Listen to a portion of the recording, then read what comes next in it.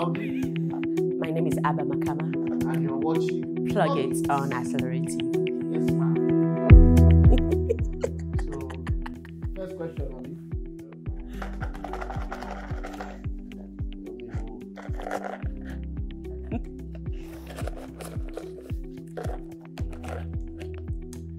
What is the trajectory of film festivals and how do you think they will impact Nigerian film industry in the next five years? yeah.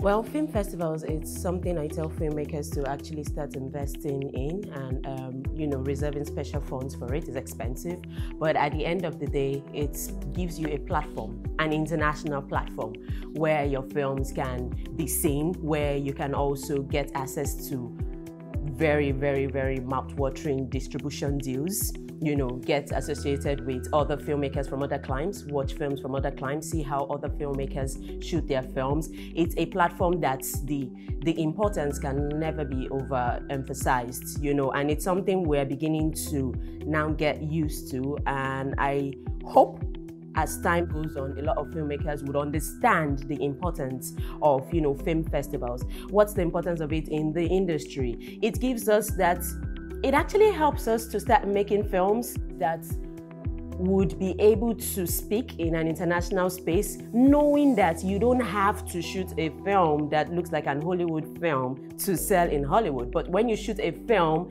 that represents and speaks, you know, for where you are coming from, and it's a film that you can identify with, it would also speak to the world. Everybody falls in love, everybody laughs, everybody is happy. There are languages that are understood worldwide. Take, for instance, our film Lost Okoroshi that just screened at the Toronto International Film Festival. That is a film that is talking about masquerades, you know, which a lot of us have lost um, connection to. So when you watch the film, it actually makes you want to go back home and understand what this masquerades are about. You know, so things like that is what the film festival does. They don't make you lose who you are, but they actually make you more connected to where you're coming from so that you can sell yourself to the world with what you have, your culture, your traditions, your food, everything you have. It gives you that world platform to sell it. So yes, film festivals are really important, really, really, really, really important. And I really hope that while we are setting aside money for production, money for post-production, money for P&A, we should also set aside money for film festivals so that we can have this platform to push our films and also get um, access to awesome distribution deals because the more your film do well, the more you put it on that platform where you can negotiate, you know, with confidence because you know that yeah my film was here my film was here. You have all these big platforms chasing you to have your films you know so it's a, an awesome platform where filmmakers need to yeah can i also just add that as you said film festivals um, you mentioned p&a film festivals should be part of your p&a like it's literally a marketing platform. It's also a film market where people go to broker their next film deal where they go to sell the film and whatnot. And I mean, with Lights Camera Africa, which the Lost Okoroshi will be premiering, doing its Niger premiere on Friday the 27th, um, has in the past five years has literally gotten bigger and bigger in terms of scale, and hopefully, um, yeah, it's it's going to be on that level with the top five like Toronto, Cannes, Venice, and whatnot. So awesome time to be a Nigerian filmmaker. Really awesome time. What are the highlights of your filmmaking journey so far?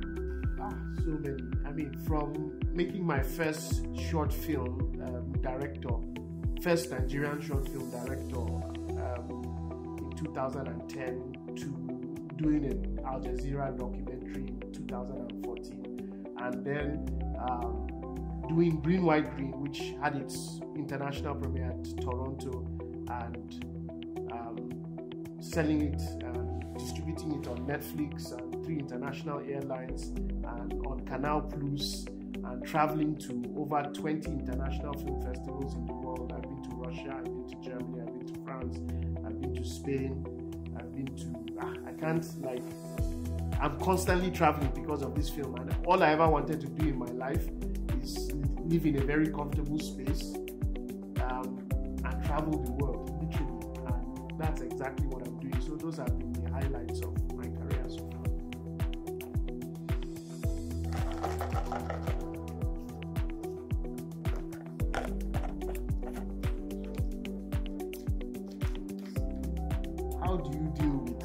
live feedback and criticism when premiering at a film festival? For me, I'm one of those people that don't dwell on the positivity and hearing all the good things about the film because as a filmmaker, I actually know where my film sucks. So whether you want to tell me or not, I know. So if something is bad and then you come to me and you want to make it sound really nice, I rather you tell me straight up what the problem is so that my next film I would work on those shortcomings that I had in the other film. So I'm one of those people that actually love my film to be criticized. I love criticism because I think it makes me better. Um, so make it constructive in a way where you don't come and say, oh, I just watched rubbish. Let me know what was rubbish. Was it the acting? Was it the story? Was it the the costume, the sound design, the cinematography? I would like to know what exactly it was so that next time I would make sure I don't make that kind of mistake. So I really love it, no matter how blunt it is. I'm a very blunt person. So I really love when people come straight up to me and tell me, I didn't like this, this, this, this. I think it would have been better if you had done this, this, this, this.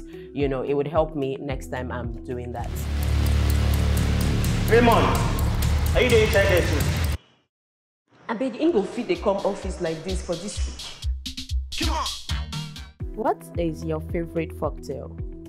Um, ah, let me see. Yeah, it's plenty sweet cocktail. Is it the, let me see. I always used to enjoy the tortoise and the hare type folk tales, you know, because of the underdog. But I also just like the arrogance of the, the hair. Um, then all these, anyone that had to do it, like jazz, you know, all those stories were also dope.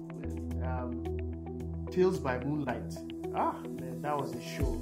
In fact, when you watch Lost Okoroshi, you see elements of Tales by Moonlight in there. And funny enough, Lights Camera Africa, this year the team is That's called the team. Tales, Tales by Moonlight. So, um, there are so many folk tales. I mean, there are some from my mom's tribe that I can't even begin to. Anyways, for now, tortoise and the hare.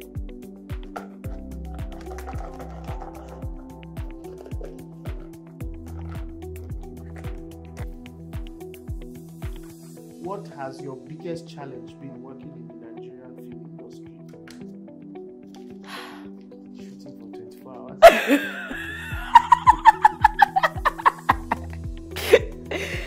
There is a lot of knowledge, a lot from from shooting with people that are very insensitive um, to people's feeling, to paying for film permits and still having to deal with area boys, agberos, um, even after you you pay for the film permit. So you pay for the Lagos State film permit first. So you have say I want to shoot on the bridge, I have access to that. I still have to pay for that space again. I probably would also get a security person, say police or mopol. Still, the Agberos will come and I still have to pay them or they will threaten to take my equipment away. So all that is a lot of challenge. We don't have that enabling environment to to film. You have the generator noise that everybody always complains about our sound, not realizing how draining it is for us to actually film. Filming sound in anywhere in the world is challenging. Talk of here that you have Everywhere. generator sounds 24 hours, and then you have the drivers that would not take their hands off their horn. They are always just. psh, psh, psh. So you know, um, it's everything. Everything about filming here is challenging. You know, you have that, and then you have that always trying to contend with people that you have paid money to come and work. Yeah, and then they come on set and they are acting like you, as if they are doing you a favor. We're all doing ourselves a favor. We all need ourselves, you know. Um, but for me, I would say my greatest challenge would actually be managing this area boys on the road. And I have come to understand that you have to give to Caesar what is. So just make sure you always have something ready, even though you have your permits, even though you have your mopol, you still have to have their money ready and then give it to them. So just go and look for. So I've known how to deal with it. So I just go look for who is the biggest guy and then take care of the biggest guy, so the biggest guy would help take care of the other guys. I think that's actually um, been my major challenge. Every other thing, um, all my all my shoots, I always try and plan for the worst. So whenever that happens, I am ready. When you hear lights, camera, action, what comes to mind? Yeah, just that really. when you ask that question, the next thing that comes is the actors start taking their line. Exactly. And that sound better be rolling. And DOP, make sure you fit record. I don't want to now hear good take again. Like, oh, oh, I didn't press record. Can we take it again? Or we forgot card or something like that. Interesting stories. We shot at Balogun Market one day with the masquerade. And like people just gathered around. The reaction was mad. We got back to the car park and Did not roll. he rolled, but there was no car.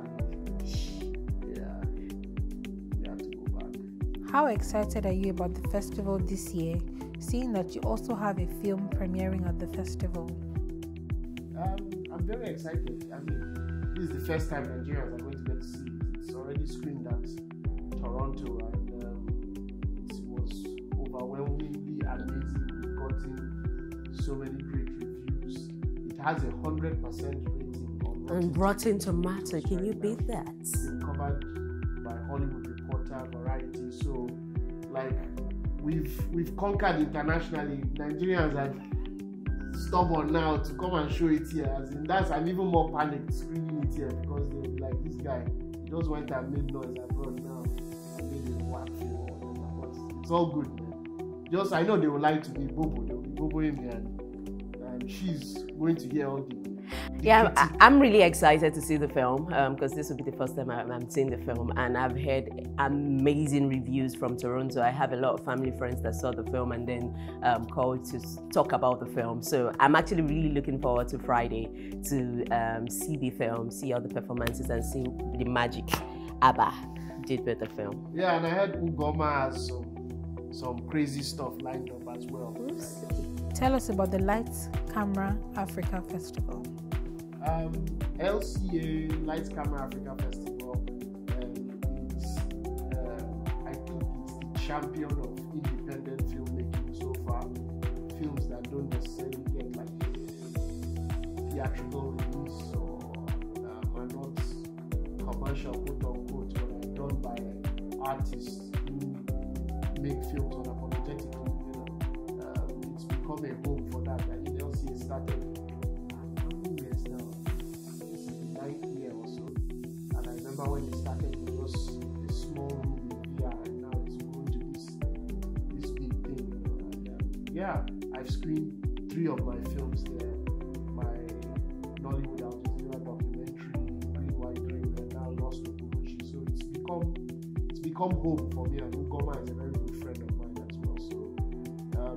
yeah, LCA is, is home. And I think everyone should actually plan to attend um, this year because the lineup is really, like I said, amazing. Aside the fact that our film is premiering, it's having its Nigerian premiere, I think people should actually make plans to come. It's from 27th to 29th of September. this Friday. Hello, my name is Judith. Thank you for watching Plug It and um, subscribe. Keep the button down. It's down here. Yeah, subscribe to it and Abba Makama saying peace out. Plug it. Subscribe. Revenue. Red TV. Bye, guys. Looking forward to seeing you at LCA.